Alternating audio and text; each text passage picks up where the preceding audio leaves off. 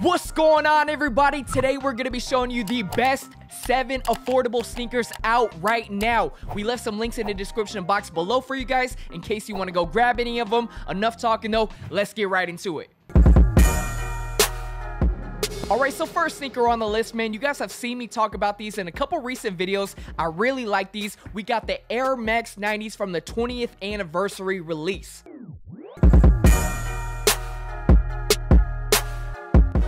So recently, Nike decided to drop some OG colorways and some non-OG colorways in their 20th anniversary release of the Air Max 90 right here. And when it comes to the colorways that they drop, I really like the ones with the vibrant color accents, such as this Volt one, even this purple one right here. I think they also had a teal turquoise that was really dope. But overall, man, the Air Max 90s right here, this is like gotta be the most versatile sneaker on the list. You could rock these with track pants, shorts for the summer, even with no-shows, with tube socks. You can rock them with uh, jeans. These have no limitations to what they look good with, in my opinion. And what I really like about them too is you are paying for like that OG vibe. Obviously the same color blocking as 20 years ago, but you are not paying a crazy price tag. Right now, these are sitting kind of for like 110 to 120 on websites. Some websites are selling out in them. So if you are looking to get a pair, I would act quickly right now.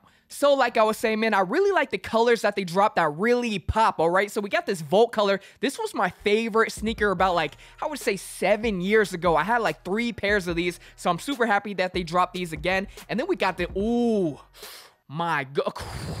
These right here, the purple in person is insane. I think photos do not do this purple justice, but when I saw these in person, man, the purple with the gray accents, this is a sneaker I definitely would recommend. For a hundred bucks, you cannot go wrong with the colorway right here. There's not a lot of purple sneakers on the market right now, so this is definitely a good option. I would say for 2020, purple might be one of my favorite colors that I'm going to be rocking. Even when it came to that jacket that I was recommending, I feel like they should retro more purple stuff. One of my favorite SBs back in the day were the purple pigeons. But anyways, enough about purple, man. These are my two favorite colorways that dropped in the entire release. I definitely recommend them. The shape is on point, quality is on point, and these do not disappoint. So shout out to Nike for bringing these back. Let's move on to the second sneaker.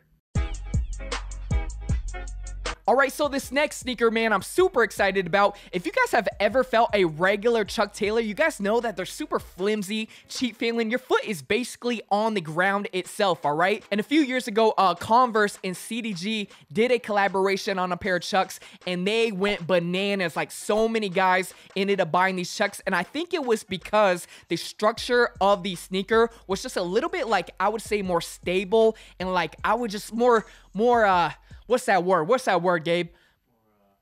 Hefty. Hefty is a good word. Just, you know, feel like a little bit more manlier, not as flimsy as regular Chucks. So what I really like that Converse did is they decided to release the same construction, but you just don't have that huge branding, and these come in at more than half the price, all right? These are only 85 bucks. But if you look at it, man, this midsole right here, it's basically like an encapsulated rubber outsole right here. So if you feel these in person, you know exactly what I'm talking about. In photos, you can't really tell, but trust me, these are a really good alternative alternative to the CDG Chucks or just an elevated version of the $50 Chucks. I really like these, man. I think they're a good everyday sneaker. And when I put them on, even just the comfort of them from the cushioning and just how they feel on the foot is much better than a regular pair. But yeah, they come out in white. They come out with the black and cream. Really clean. I recommend these right here. We got the Converse Chuck Taylor All-Star 70s right here. Definitely take a look at these.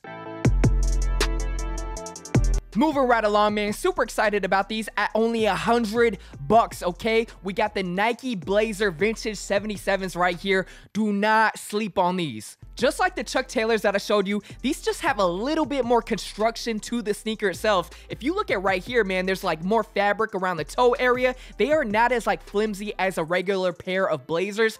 And what I really, you guys know how I feel about my favorite grail of all time. I'm talking about the Supreme Nike Blazers with the uh, snakeskin python, whatever you boa constrict, whatever you want to call it, on the Nike swoosh right here. I mean, this is my favorite detail of this sneaker. It looks so clean. I can't even put it into words. And the fact that they released something that kind of resembles the Nike Supreme Blazers is really cool. Um, also, you know, I hate to always bring this up.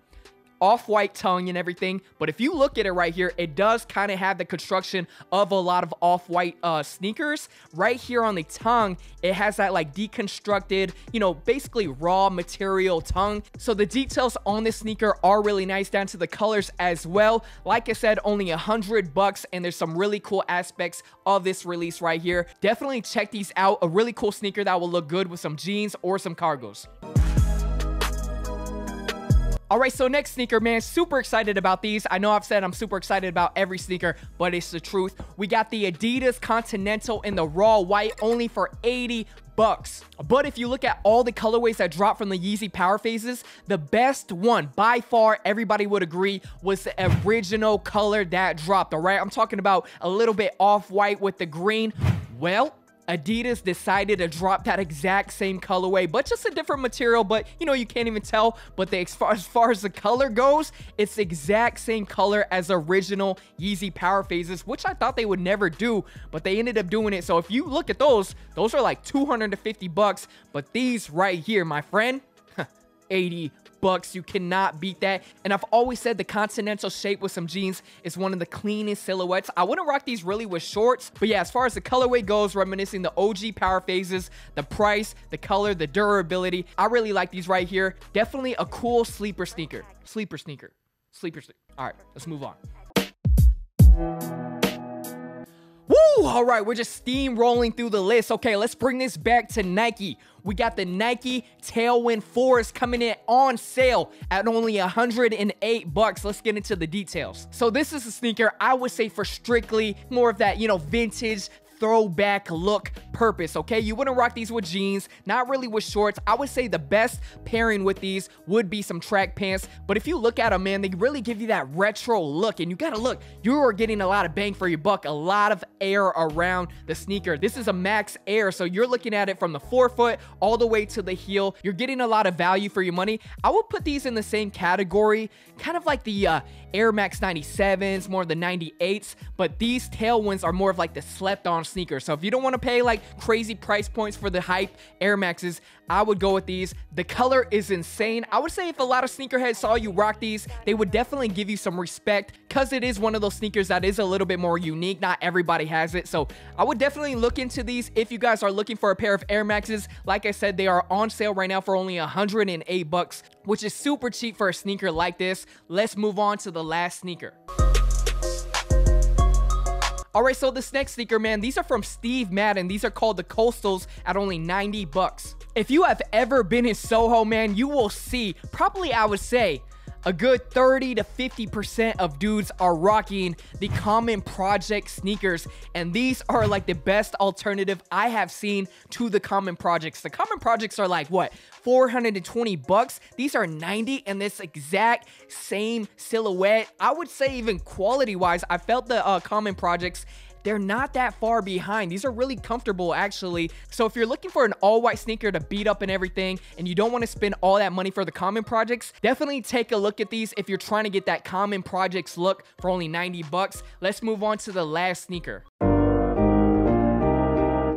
All right, so last but not least, man, this sneaker right here is crazy. From the Olympic pack from Nike, we got the Air Max 97s. Super, super clean yellow. We just gonna call these the bananas, all right? The bananas. Let's get into them. So we've talked about these on Hype Talk. We all said they were definitely a cop. Really clean colorway. You got a really nice white midsole. And what I really like is they did the midsole underneath like a uh, smoky gray. So the accents are really nice on the sneaker. They also have a nice suede material. So a good alternative to the uh, leather that you usually see on Air Max 97s. Also, if you look right here, they have like basically a little pull tab on the tongue that represents the Olympic rings, which is really cool. So a nice little switch up, I would say, are these yellow bananas, you're definitely going to stand out from the crowd.